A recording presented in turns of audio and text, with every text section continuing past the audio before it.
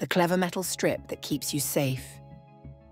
What do toasters, circuit breakers, and gas oven safety valves have in common? They all rely on a humble but clever little invention the bimetallic strip. It's a strip made of two different metals fused together. Crucially, these metals expand at different rates when heated. So when the temperature rises, one side grows more than the other, and the whole strip bends.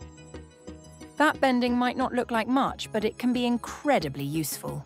If the strip is part of an electrical contact, it can break a circuit when it bends and stop a wire from overheating. Or it might press against a latch and release it, like in a toaster, where it pops the toast once the strip, and the toast is hot enough. In a gas oven safety valve, if the flame goes out, it quickly cuts off the gas supply as the temperature suddenly drops. For extra sensitivity, bimetallic strips are often coiled into spirals.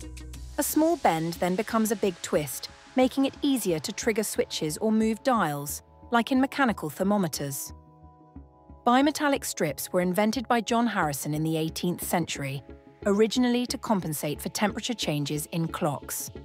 Today, they're still at work in thermostats, alarms, kettles, and countless other devices, often silently keeping things safe, warm, or perfectly cooked. They're robust, need no power, and, best of all, never crash, freeze, or install updates at the wrong moment.